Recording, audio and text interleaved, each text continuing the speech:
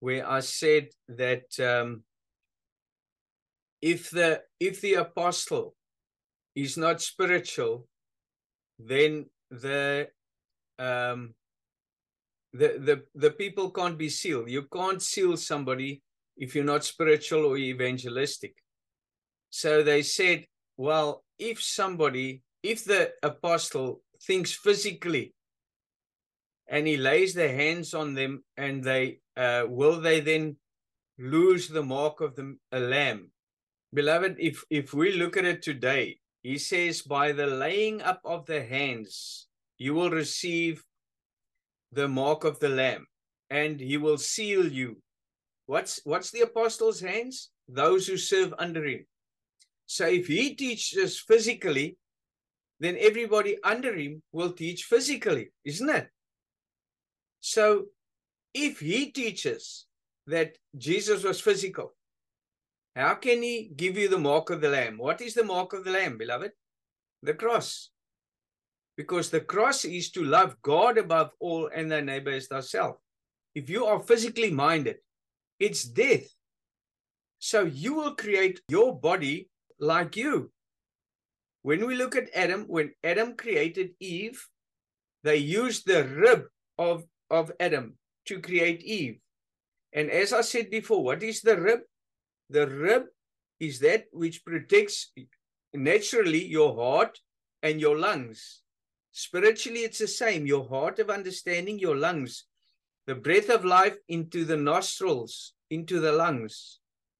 So, what protects your heart and your lungs? Your insight, your spiritual insight. So when you create somebody, when you create a wife for yourself, you use your rib because that's your insight. So you will create somebody to look exactly like you because it's part of you. So I'll create somebody the way I see. So if I see physically, my body will be created the same as me, isn't it? Everybody that I teach will be the same as me. So how are you sealed? when receive the seal. The seal is to seal whatever's in you within you. But I can't seal you when you testify somebody or you take somebody up.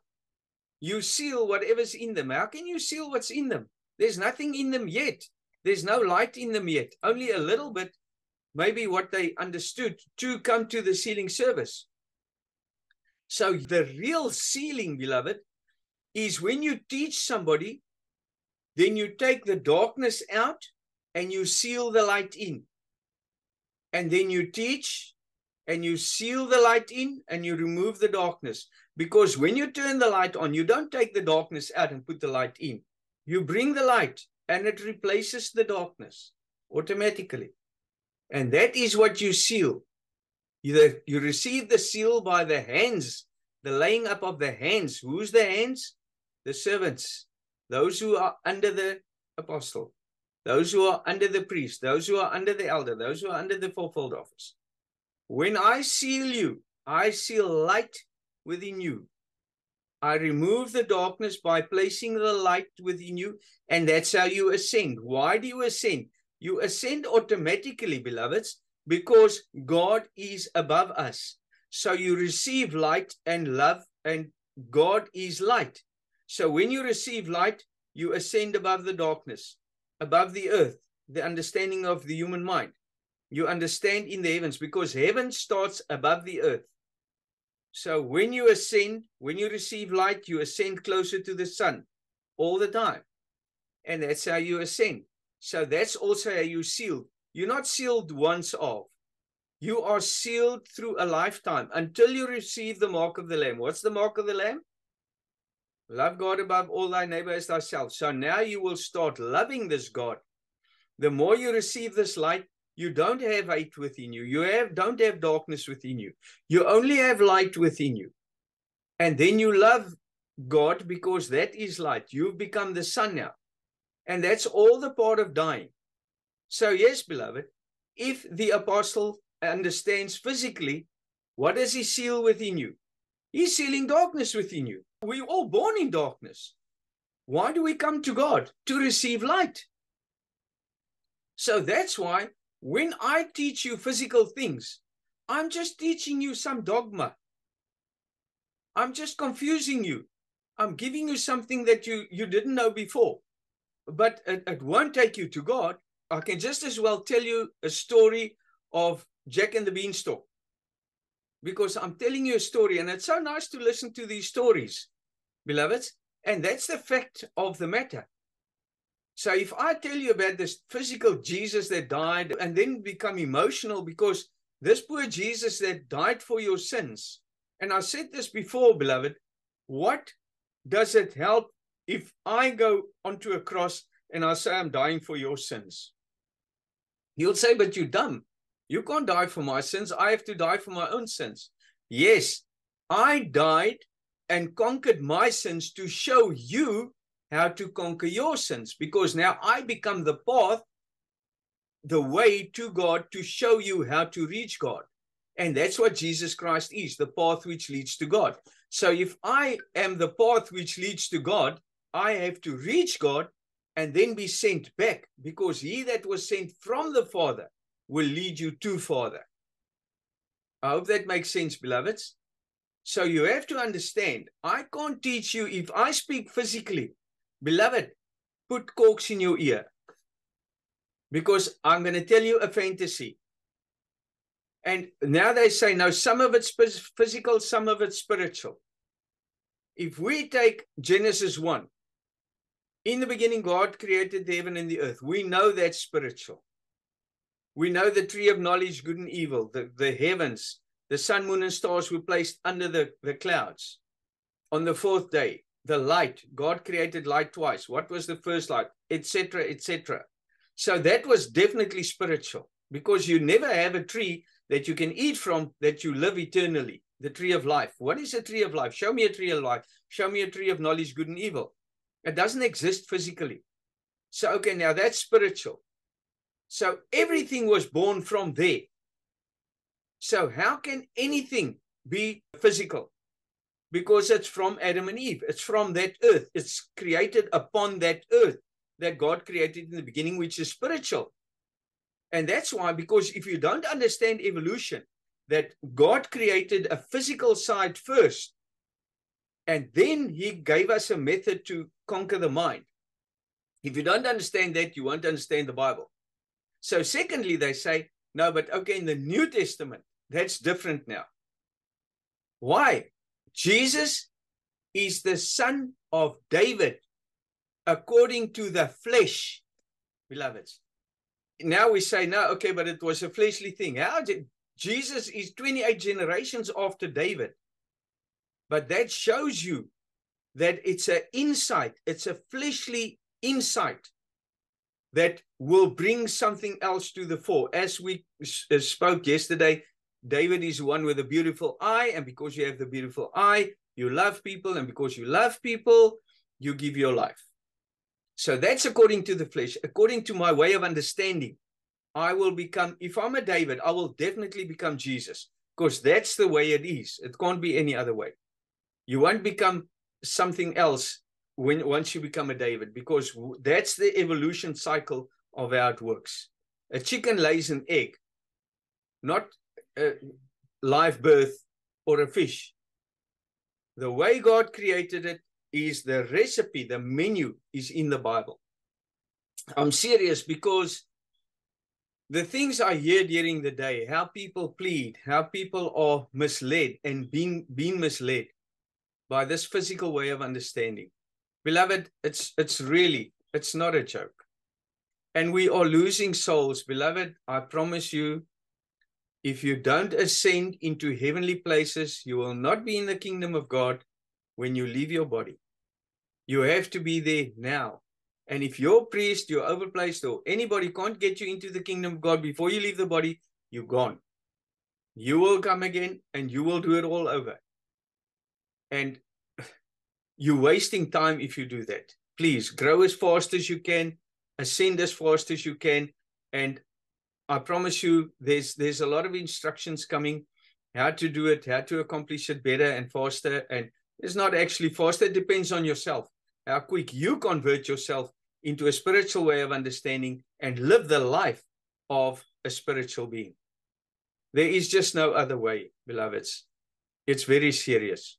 Brother Verster, I, yes, uh, brother. uh, uh, just when your topic is going to be the true path to God, won't we in actual fact sort of go into that way? Yes, yes. Uh, beloved, you know, everything is the true path to God, to be quite honest. The true path to God, beloved, is, is what we are doing here. It's spiritual teachings, it's a spiritual way of understanding. And, beloved, don't be divided. When you see somebody teaches spiritual and the other one teaches physically, you take the one that will get you to God. I spoke to officers today, and you know they they very divided, but they know they know that we right. But because they're officers, they say no. What, what are we going to do? It's your choice, beloved. What you're going to do, but the path to God is spirit. There is no I am the way, the truth, and the life. Nobody comes to Father but by me. And that is the path of dying. That is the path of the cross. And that's what you have to do. And there is only one path, there's not two. So that's something we have to understand, beloveds. You have to make a choice. And if you have an office or you have something in life that you're egoistic about, or when you leave that, you lose that, you, you're nothing, then you have a problem. Because if you're not willing to leave anything for God, same with, beloved, the crucifixion. You know, if you are used to being with your friends all your life, every Wednesday we have a boys' night out, and the wives every Thursday they have a ladies' night out, and we have uh, action cricket, and we have this, and we have that, and we have scramblers on the weekend and we're in the mountains and or four by four trekking and beloved that's a drug. And then you have a braai with your friends and after it's like you know you get so addicted to that and now god comes and he shows you this path and now you say no i can't do all that then the inn is full because when you have the stable when you become childlike, when you become nothing, what's more childlike than a stable, beloved? You and you say, No, the inn is full. I, I can't, I don't have time for all this. Now we have a Zoom. No, I don't have time for that Zoom. I have to go do that. Beloveds, you know, uh, what I learned there and what I learned here, I'm taking this and I'm teaching them there. And what I'm learning there, it's killing me. I'm so aggravated already because they're just talking flesh and they're killing the people down there. Beloved, you you have to remember the day you leave your body, this is gone. You don't have this anymore. You have it now. When you hear my voice, harden not your heart. Because God is calling you. And you can go and try and impress whoever you will. You can go try to impress an apostle that thinks physically. You can try and impress your overplace. You can try and over, over, uh, impress anybody. But try to impress God and get closer to Him. Just be a child. Because, beloved, the formula is in spirit. You can't be divided. You have to be straight and narrow. And when you enter that narrow path, why is it straight and narrow, beloved? Because you can't take anything with you on that path. You can only go, he says, when you go, you take one pair of shoes, you take one cloak. You don't take a purse. Don't take extra clothing. Don't take extra shoes. Don't take anything else. The path you're going to walk, you put on those shoes and you walk. He said to Moses before he entered the mountain, or when he entered the mountain, he said, Take off your shoes. The, the ground you're walking on is holy. So, your way of walking, your way of doing things, what does he say about Zion? That was Sinai. What does he say about uh, uh, uh, Zion? He says, when the beast or any animal touches the mountain, it must be shot down with a dart or stoned. How is that? How do you shoot something down, down with a dart, beloved? Or isn't that the, the arrows that we need the shield for? But there's two arrows. There's the ones that kill the spirit, and there's one that kills the flesh. So that goat or that animal thoughts within us has to go. Our fleshly desires has to go. That has to be stoned. How's it stoned? It's not that you intentionally tell people, listen, you have to leave that nonsense. You have to. If you want to enter Mount uh, or ascend on Mount Zion, if you want to ascend in God consciousness, you can't take those thoughts with you. It's just not possible. Either you serve God or mammon. You got a choice, beloveds. So before you can ascend Mount Zion, beloved, you're going to have to leave your thoughts behind. All your habits, all your things that you did in the past. And we all grew up in a, we thought in a spiritual way of understanding until they changed. We never changed. Because when the child is born within you, beloved, that child needs to be fed. The same as a physical body, the same as a spiritual body. That child has to be fed. And you're responsible for that. So if you want to ascend in God consciousness and you want to be in the heavens, to sit in heavenly places in Christ, you need to leave your all those animal thoughts. Again, that's why Jesus was born in a stable. All the animals, and what does he say in Matthew 5? I think it's Matthew 5 4. I'm not very sure, but it's a Matthew 5. He said, Those who are poor in spirit will inherit the kingdom of God. What does it mean to be poor in spirit, beloveds? I have a lot of spirits. I love to do this and I love to do that and I love to all kinds of things. I have a spirit for everything. I like to get angry. I like to talk bad about people. And all these spirits control my mind. And beloved, those spirits are real. Believe me. Because if you have a spirit of drinking, go drink. After that, you feel very bad. You didn't want to do it and you, you don't want to do it, but you did it. So you feel better and relaxed. You don't want to drink now, but the spirit is fed. So you don't need to feed it. It's happy for a while. And when you get angry afterwards, you say, Goodness, I didn't want to get angry. But that spirit is fed. It doesn't need food for a while until it catches you offside again. And that is the, the animals that you take up with you. Try to take up on Zion. In Zion, you can't. You become sp more spiritual and more spiritual and more spiritual. Nothing fleshly, no goats, nothing of the animals can go with you. And that's why those who are poor in spirit, when you conquer all those spirits, and only God's spirit remains, Jesus Christ, you are poor in spirit. And now I can come back to the straight and the narrow. Only path for Christ, only path for the Son, only part for you. There's no space for you and another spirit and another spirit and another spirit. It's straight and narrow. Only God only you, only you that seek the kingdom of God, beloveds. So that's what it means to be poor in spirit. That's what it means to ascend. That's what it means to ascend in Zion. And there where you ascend on the top, that's where, where did Moses meet God? On the top of Mount Sinai. When you get to the top of your understanding, when you get to the top of knowing this is right. This is what I've been looking for. Then God will speak to you. Just open your heart.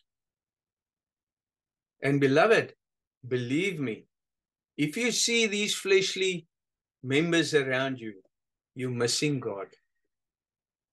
Because God speaks through us. And that's why, beloved, we have to start working on our on our gifts, our dreams and visions so that God can guide us all the time. He will always. But I want us to invite God in this. We have to get rid of our flesh so God can take over everything. Let's be a poor in spirit. And that, beloved, to be poor in spirit, you'll be calm with everybody. You'll be good to everybody, accepting those you love. Why? Because you have to become a consuming fire for them. You are the dot, you are the stones. You are the one that will turn the tables in the temples because they're busy with a lot of nonsense. You see, let me show you. Jesus Christ is born a baby. How do you baptize? With water and milk. That's the Holy Spirit, learning the truth within somebody. So that's the Holy Spirit born within somebody. Jesus Christ, the truth. God in flesh. So now you teach them and you say, this is how it works and this is how it works. And they grow and they grow and they grow all the time until they understand and they see, okay, this is how it works. And then, beloveds, when they grow up and they become God friendly, to know their responsibility, when they know their soul and they know I have to die, then comes the consuming fire, then comes the darts, then comes the stones. And we, beloved, that belong to this body, we want to die. Yes, if I do something wrong, stone me. Yes, if I do something wrong, shoot it down with a dart. Beloveds, if you see that within me, sort it out for me. Thank you. Beloved, You're doing something wrong. Oh, I'm so sorry, beloved. I'd, thank you. Thank you. That is who we are.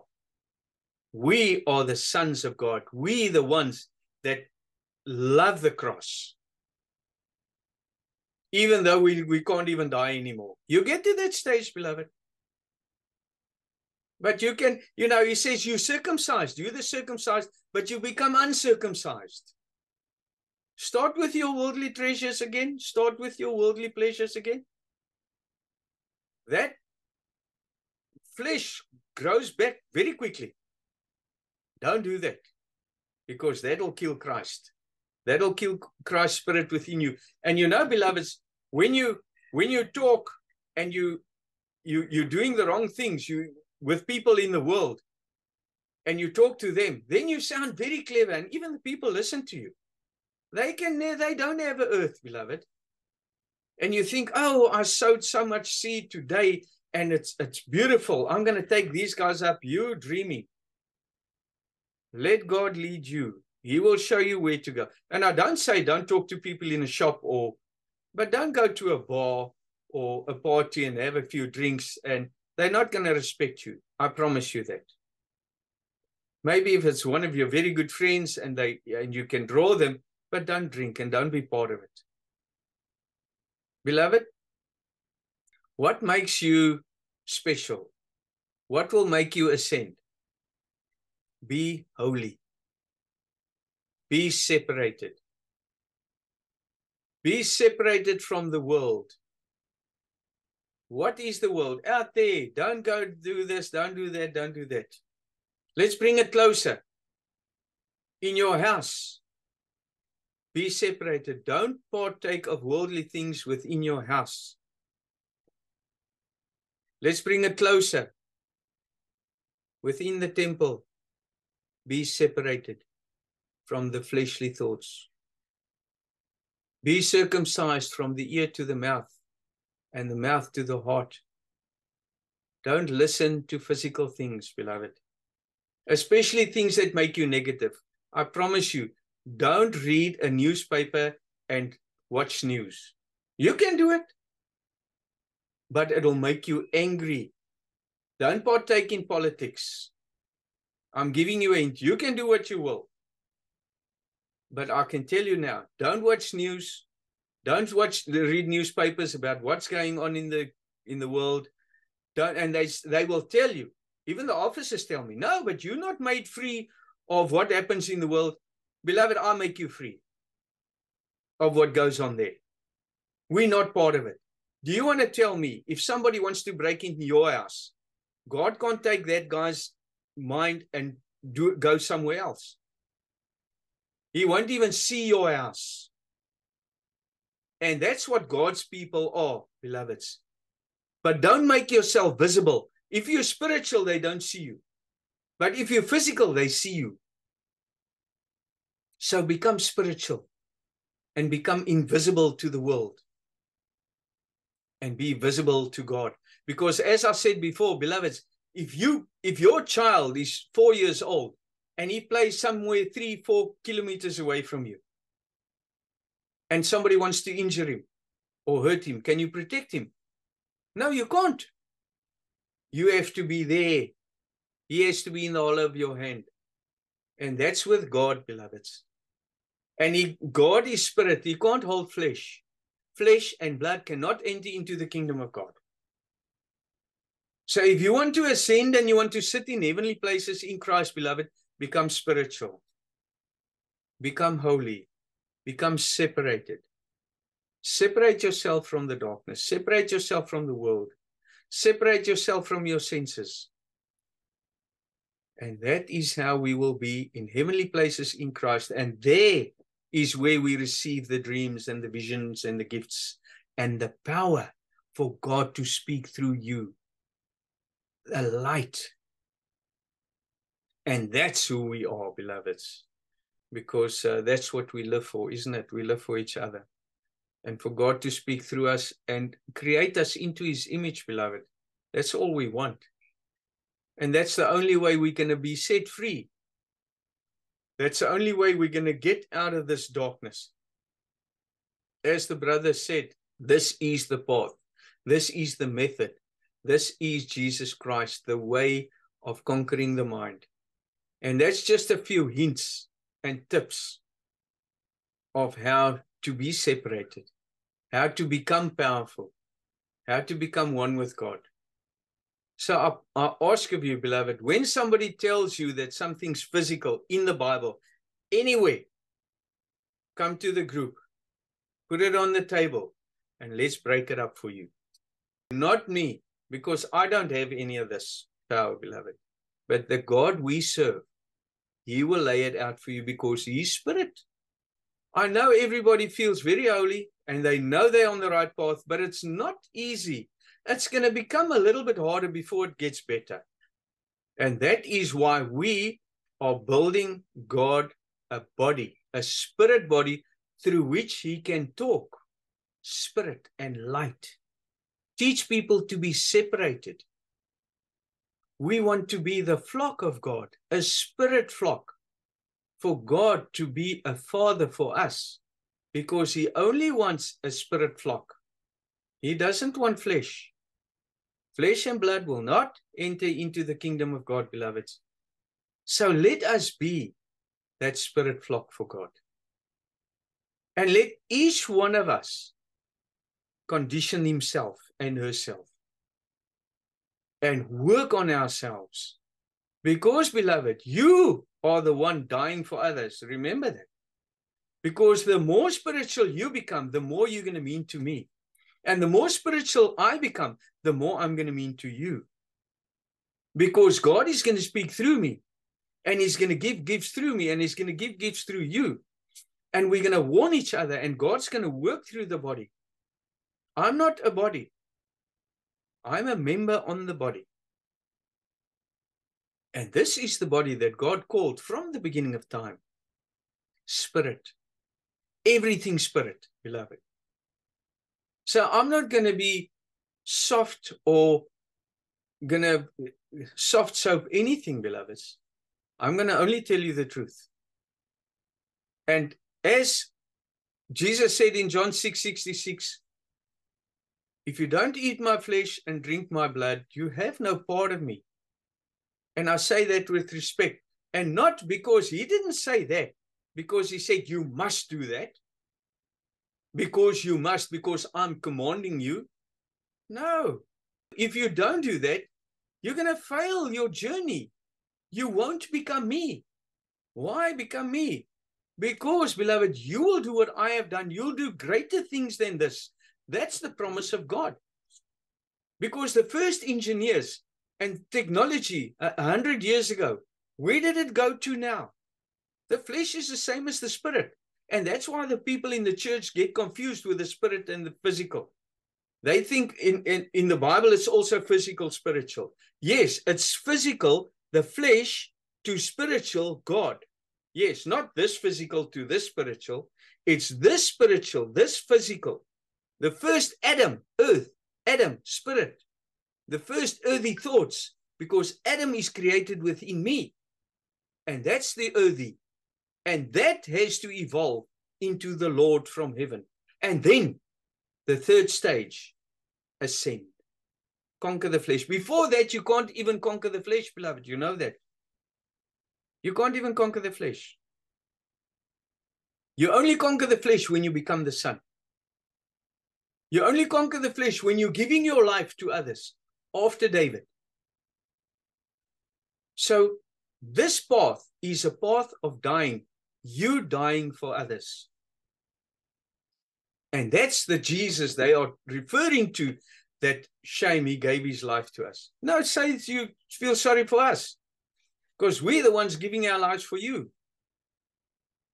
And that's just the, the fact of the matter, beloveds, because you are now giving your lives to those who God will draw. And by us being spiritual beloveds, God can work through us and we can protect one another. If one goes astray, we fetch him back. And we, we have the power of healing. We have the power of the prophet. We have the power of spirit. And we'll be able to help each other and hold each other by the hand and be one body. And if one part of that body pains, beloved, we will feel the pain together. We won't judge each other. Maybe we'll get a hiding every now and again, but we can take it because it's good for us. We have to ascend, beloveds.